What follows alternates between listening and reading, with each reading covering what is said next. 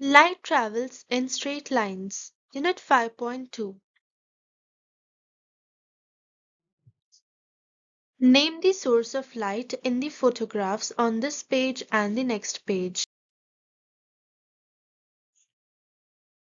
Describe how the light in these photographs travel in a curved line or a straight line. Light travels in a straight line. Can light travel around corners? Yes, light can bend around corners and it is a basic property of light and all other waves. Words to learn. Proof. Evidence or argument establishing a fact or truth of a statement.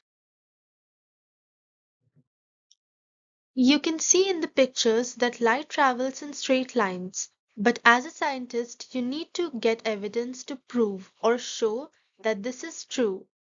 The next investigation will give you proof, evidence that shows that something is true. The answer is light rays. Look again at the photographs of light traveling from the sun and the film projector. In both photographs you can see the light is traveling in straight lines. Each narrow beam of light is called a ray. Light rays travel from the source of light in all directions until they hit something. Ray diagrams. We can show how light travels with a ray diagram. On the diagram, we draw straight lines for the rays of light. We draw an arrowhead to show the direction. The light ray is moving. This is an example of a ray diagram rays traveling from a lamp. Imagine a light ray from the lamp hits an object such as a book.